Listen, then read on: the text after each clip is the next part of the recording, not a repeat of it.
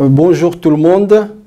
Toujours dans le cadre euh, de la filière sciences et vie, SVI, et dans le cadre également du module biologie des organismes animaux, partie vertébrée, on va traiter le, premier cours qui concerne euh, cette partie-là.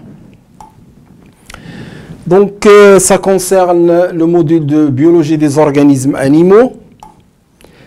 on va parler des caractères généraux des cordées, les caractères généraux des vertébrés et les caractères généraux des poissons.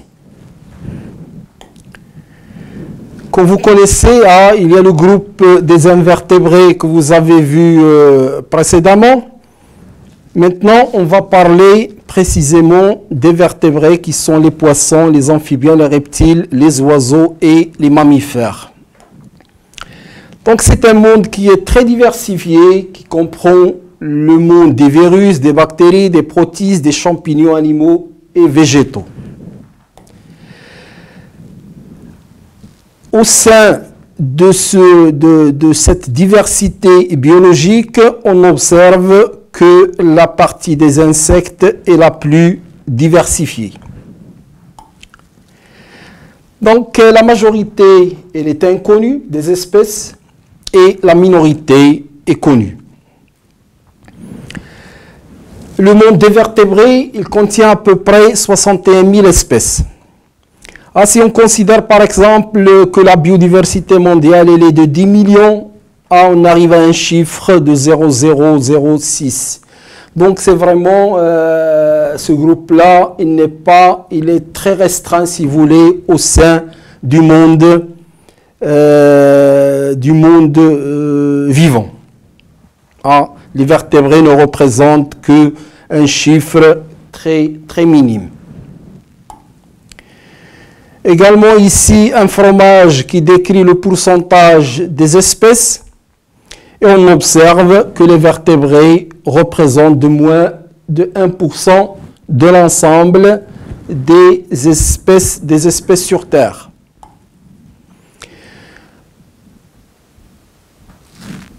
Dans ce groupe-là, donc on va s'intéresser aux cordées,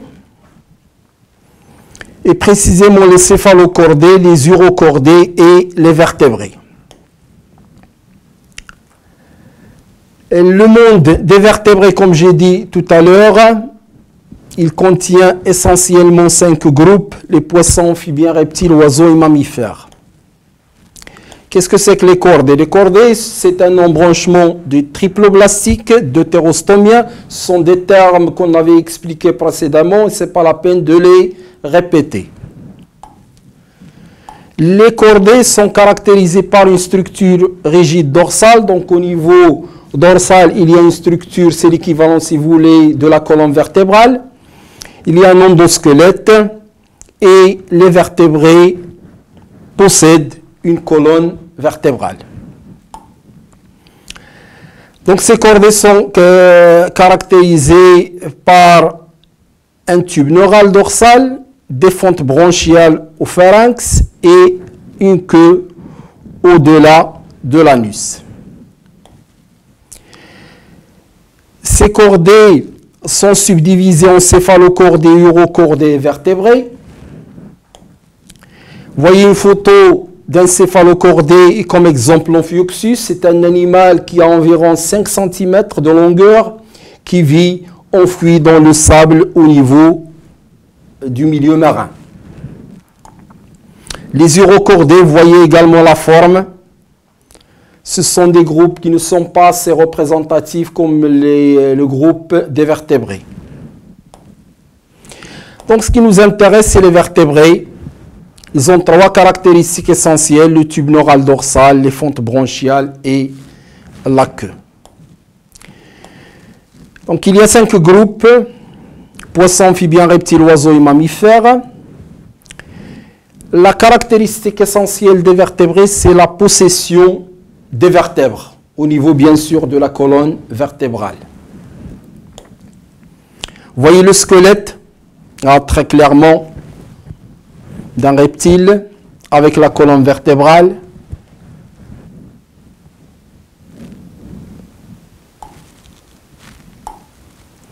Également ici, le squelette de différentes euh, espèces représentatives des vertébrés, poissons, oiseaux, reptiles, euh, mammifères.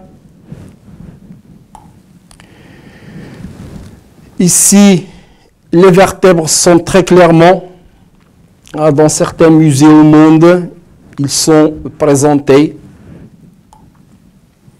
Également, les vertèbres très clairement.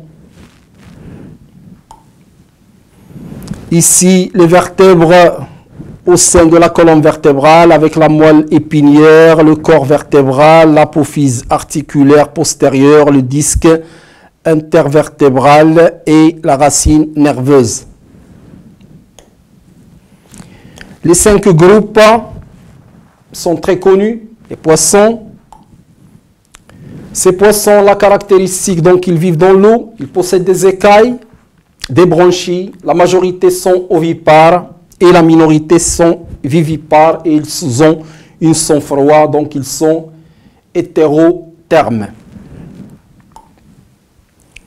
ou poikilothermes. Les amphibiens, ils vivent dans l'eau ou sur terre. Ils ont une police, ils sont ovipares et ils ont un sang froid. Donc ils sont des poikilothermes.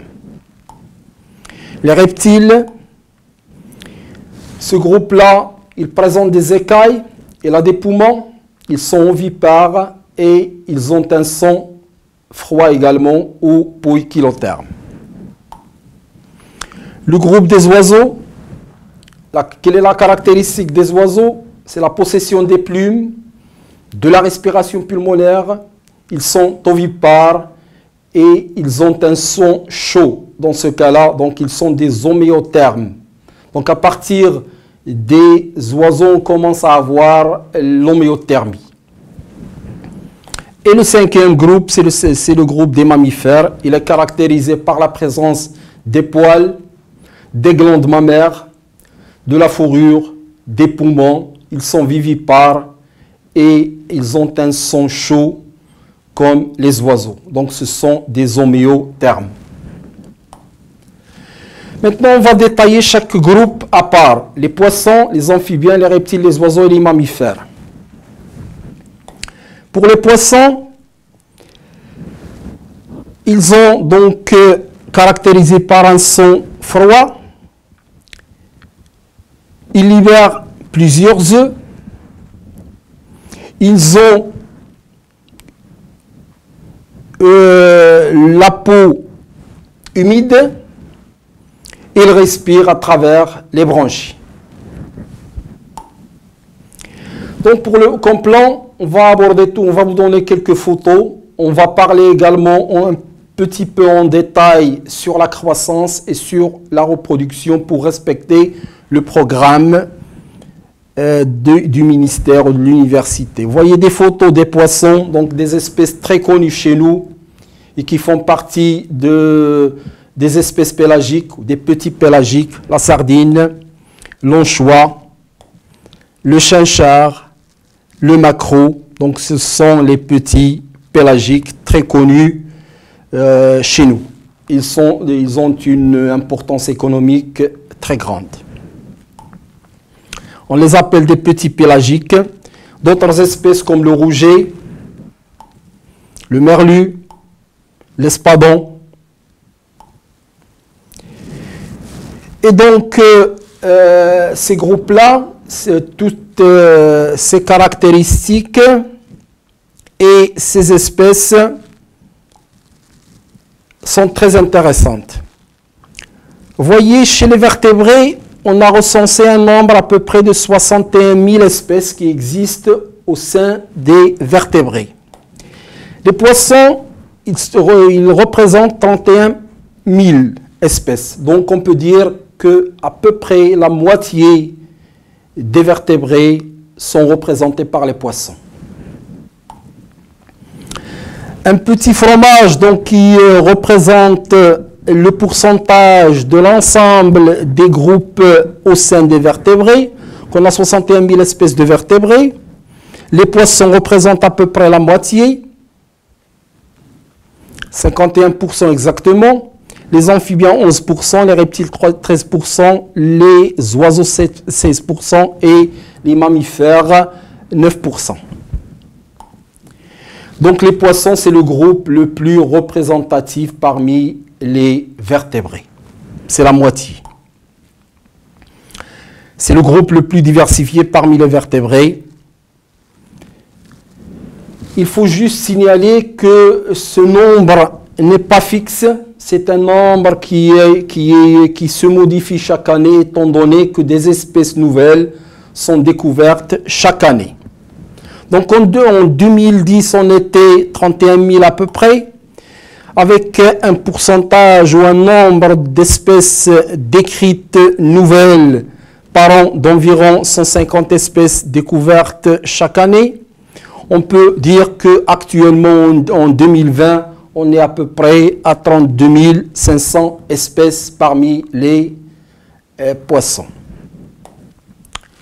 Maintenant, quels sont les caractères généraux des poissons? Je vous rappelle, ce sont des métazoaires triploblastiques célomates, deutérostomiens, épinoriens. Tous ces termes, on les a expliqués et on considère que c'est connu.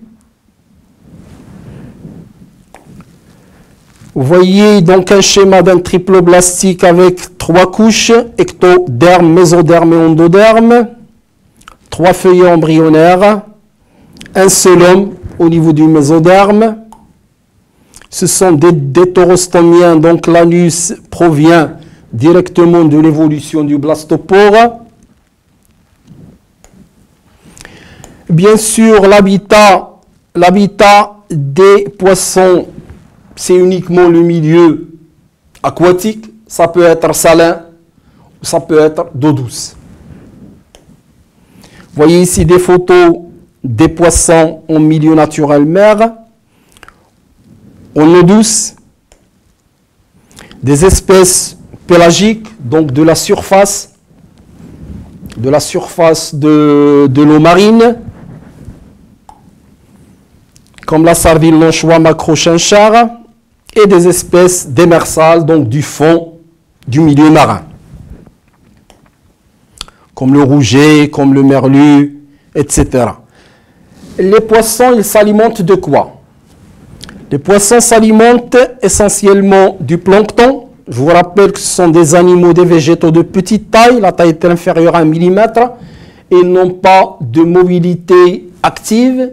Ils sont transportés par les courants, donc c'est une mobilité qui est passive. Et voyez donc le plancton, quelques photos du plancton en général qui représente que ce soit le phytoplancton plancton végétal ou plancton animal, il constitue la ressource essentielle alimentaire des poissons.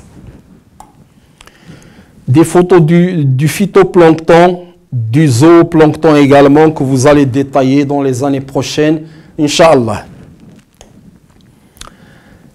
Également, les unicellulaires et les larves font partie euh, du, du plancton. les poissons se nourrissent également des crustacés, des petits poissons, et le requin, il représente le sommet de la chaîne alimentaire. Quels sont les caractères des poissons? Les poissons sont caractérisés par la présence en milieu aquatique. Ils possèdent des branchies, ils possèdent des écailles et ils ont également des nageoires. Voyez très clairement les branchies chez les poissons. Les nageoires. Ah, il y a différentes nageoires, dorsales, caudales, anales, pelviennes et pectorales. Les écailles ici, dans certains, ça dépend des espèces. Il y a des espèces qui ont de très petites écailles, il y en a qui sont grandes. Ici, une photo qui illustre les, les écailles de grande taille. On va parler également de l'ensemble des appareils chez les, poissons, de l'appareil respiratoire, circulatoire, digestif, excréteur et reproducteur d'une manière assez brève. Commençons par l'appareil respiratoire. L'appareil respiratoire, il est représenté uniquement par les bronchies. Les photos des bronchies, très clairement. Hein. Ça dépend des espèces. Parfois, il y a quatre, quatre branchies, parfois, il y a cinq. Et ces poissons, donc, euh, ils vivent dans l'eau. La respiration se, déroule de la manière suivante.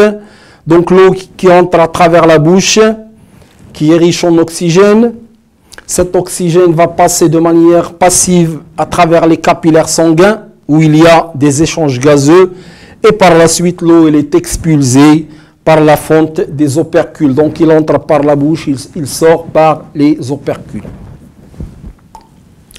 Ici un schéma qui montre très, clairement la respiration, le phénomène de, respiration. Donc vous voyez le courant d'eau, il passe par les branchies, Ensuite, donc, il y a diffusion de l'oxygène dans les capillaires sanguins et il y a sortie du gaz carbonique des capillaires vers l'eau et ainsi de suite. Donc, on peut dire qu'on a un gradient, voyez, un gradient d'enrichissement en oxygène euh, dans ce sens. voyez, le courant de l'eau il s'appauvrit en oxygène et le courant sanguin, il s'enrichit en oxygène. Donc c'est une manière très simple d'explication du phénomène de la respiration. L'appareil circulatoire, chez les poissons, le cœur, il est sous forme de tube. Un seul tube, c'est pas comme le cœur des mammifères ou des oiseaux ou autres. Donc on a un bulbe, un ventricule, un atrium et le sinus veineux, il est dans le sens, donc on peut dire qu'il est rectiligne. Le cœur, cœur est rectiligne, il a un bulbe artériel, le ventricule, l'atrium et le sinus veineux. Et le cœur, il reçoit le sang désoxygéné.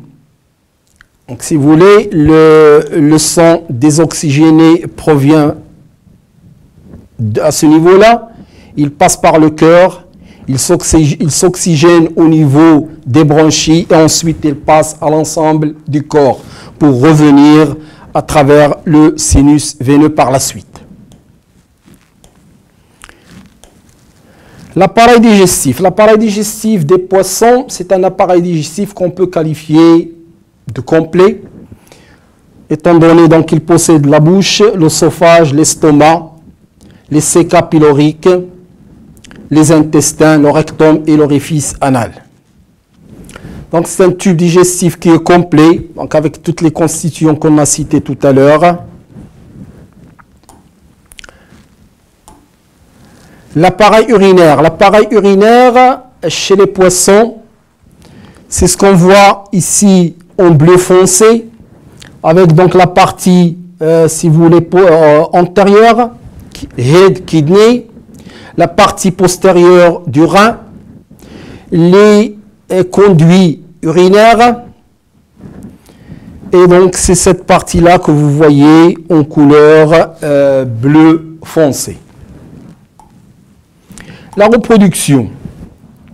Chez les poissons, les sexes sont séparés. Donc on va parler d'espèces gonocoriques. Le mâle est séparé de la femelle Parfois, il y a euh, des, caractères sexuels secondaires qui distinguent les mâles par rapport aux femelles. Par exemple, dans ce cas-là, la nageoire anale est plus développée chez la femelle que chez le mâle. Donc, euh, ces espèces de poissons sont gonocoriques. Vous voyez très clairement les femelles avec des ovaires qui sont généralement de couleur euh, rose et très irrigué par les capillaires sanguins. Les testicules chez les mâles sont de couleur blanchâtre. Ici, très clairement également les ovaires et les testicules avec des couleurs différentes. Également là, on observe des testicules. Également ici, très clairement les ovaires chez euh, la femelle du poisson. La fécondation, comment se fait-elle chez les poissons? La fécondation chez les poissons, elle est généralement externe dans l'eau.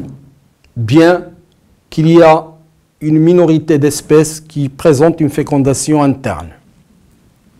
Donc le mâle libère les spermatozoïdes et la femelle libère les ovules et il y a une fécondation dans l'eau, donc une fécondation externe. Ce sont donc des espèces en majorité ovipares et très très minorité vivipares. Vous voyez ici le groupe des ostectiens qui sont ovipares, ce sont les poissons euh, osseux, et le groupe des chondrictiens ou poissons cartilagineux, comme l'arrêt par exemple, qui, ont, qui sont vivipares. Donc ils, donnent, ils ne donnent pas des œufs, mais ils donnent un individu complet qui sort de l'utérus du poisson, femelle bien sûr. Ah, très clairement ici, les, euh, les requins, groupe vivipare, poissons cartilagineux. Les stades d'évolution des œufs avec l'éclosion, donc des œufs et l'éclosion.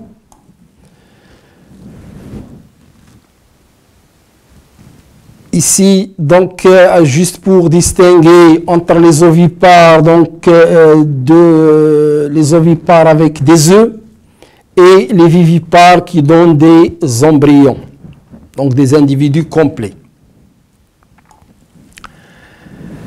Ce groupe des poissons, il est caractérisé par des œufs qu'on qualifie d'anamniotes, c'est-à-dire sans amnios. Pourquoi? Parce que tout simplement, ces, œufs, ils vivent dans l'eau. Ils n'ont pas l'obligation d'avoir une couche protectrice. L'eau les protège naturellement. Par conséquent, vous voyez, les, euh, les œufs des poissons sont caractérisés d'un et ne possèdent pas cette couche protectrice qu'on appelle les amnios et qui existent uniquement à partir des oiseaux. Parce que les oiseaux, ils pondent leurs œufs dans le milieu extérieur, euh, aérien, et par conséquent, ils ont besoin de cette couche protectrice de l'œuf. Ici, juste pour distinguer entre le groupe des anamniotes, qui sont les poissons, les amphibiens, et le groupe des amniotes, qui sont les reptiles, les oiseaux et les mammifères. Et voyez donc, il y a une couche protectrice chez les amniotes. Vous avez l'embryon ici et en vert la couche protectrice ou amnios. Donc les amniotes sont sans amnios. Et les groupes de ces anamniotes sont essentiellement les poissons et les amphibiens qui, libèrent leurs œufs en milieu aquatique. Et par conséquent, donc, le problème de la dessiccation ne se pose pas. Et le groupe, donc, on les appelle un groupe sans amnion et ils sont appelés les anamniotes l'éclosion des œufs. Voyez ici le stade larvaire, certains poissons. Enfin, le cycle biologique des poissons. Donc, euh, le cycle biologique, est très variable, disons une année, deux ans, trois ans, quatre ans, jusqu'à une dizaine d'années. Ça dépend des espèces. Donc, le cycle biologique ici, par exemple, de ce poisson-là, on a la reproduction, la libération des œufs, l'éclosion et le stade alvin, la croissance, et on arrive au stade adulte et la reproduction par la suite. La croissance, étant donné que dans le programme, donc on insiste sur la croissance, et par conséquent, donc, on peut dire que la, croissance peut être indiquée par trois facteurs. Tout d'abord, la taille, les écailles et les otolithes. Donc on peut dire que ces trois critères sont des critères qui permettent de déterminer relativement l'âge du poisson concerné. Les, les, écailles, je vous rappelle que les écailles, ce sont de ces petites éléments qui sont, euh, comme vous le voyez ici, euh, comme de sortes de petites feuilles dans lesquelles il y a des stries. Il y a un, centre et les stries tout autour. Et ces écailles, donc ces écailles, euh, ce sont des, indicateurs, si vous voulez, l'âge des poissons. C'est l'équivalent comme chez l'arbre. Lorsque vous faites une coupe au niveau de l'arbre, vous voyez des couches concentriques et chaque couche, elle indique une période donnée. Par conséquent, donc à partir du nombre de ces, de ces couches, on peut estimer l'âge du poisson mm, en général. Les otolithes, qu'est-ce que c'est que les otolithes? Ce sont de petites, ce sont de petites euh, fragments, des petites pierres au niveau de la tête et qui, déterminent également l'âge des poissons. Et ce, phénomène-là, donc de la mesure de l'âge à travers les écarts, on l'appelle scalimétrie. Détermination de l'âge à partir des otolithes, on l'appelle otolithométrie. Scalimétrie, l'étude de l'âge à partir des écailles, et l'otoliométrie, c'est la lecture de l'âge à partir des otolithes. Une dissection juste pour montrer, le, pour montrer la présence des, des otolithes au niveau de la tête. Voyez ici les otolithes donc, qui sont prises du cerveau latéralement chez le poisson. Ici très clairement les photos des otolithes. Également, vous voyez la disposition des otolithes au niveau euh, de la tête du poisson à travers les rayons X. Et ici, les couches concentriques euh, qu'on peut les voir lorsqu'on fait des coupes au niveau des otolithes et qui déterminent l'âge également du poisson. Ici, euh, l'âge, vous voyez, plus est grande, plus l'âge est avancé. Les poissons ne possèdent pas de métamorphose, donc leur croissance est continue. Ils ne, se transforment pas euh, dans leur forme générale, comme chez le cas des amphibiens par exemple. Par conséquent, on les qualifie de, de, de groupes qui ne présentent pas de métamorphose ou changement de la forme du corps de l'animal. La systématique, très brièvement, elle dépend de la nature du squelette. Et donc, on va distinguer deux groupes. Un groupe qui a des os et un groupe qui a du cartilage. Donc on a le groupe des chondrictiens à os, le groupe des ostectiens à cartilage. Chondrictiens à cartilage, ostectiens à os. Et comme exemple donc des chondrictiens, les requins et les raies. Comme exemple également des chondrictiens, les requins et les raies. Et les ostectiens, que sont les poissons osseux, comme la sardine, les petits pélagiques et autres. Donc des poissons osseux dans ce cas-là. Comme conclusion, donc, euh, sous forme de tableau, un, résumé sous forme de tableau de l'ensemble de ce qu'on a dit. Les poissons sont caractérisés par la présence des écailles, sont caractérisés par la présence des, des bronchies, il possède des nageoires. La respiration, est uniquement bronchiale. La circulation, est simple, étant donné que le cœur, est sous forme de tube. L'eau désoxygénée provient par l'atrium. Il passe ensuite vers les bronchies pour s'oxygéner. Le nombre de ventricules, est de 1. Et le cloisement dans le ventricule, est absent. Le nombre des oreillettes, il est de 1. C'est pas comme chez, par exemple, les mammifères ou les oiseaux qui ont deux oreillettes. La reproduction se fait uniquement par reproduction sexuée. L'accouplement, est présent chez les chez, pardon, chez les chondrictiens, il est absent chez les ostectiens. La fécondation, est externe chez les ostectiens, elle est interne chez les chondrictiens. L'œuf, est caractérisé d'un œuf amniotique, un amniotique sans amnios.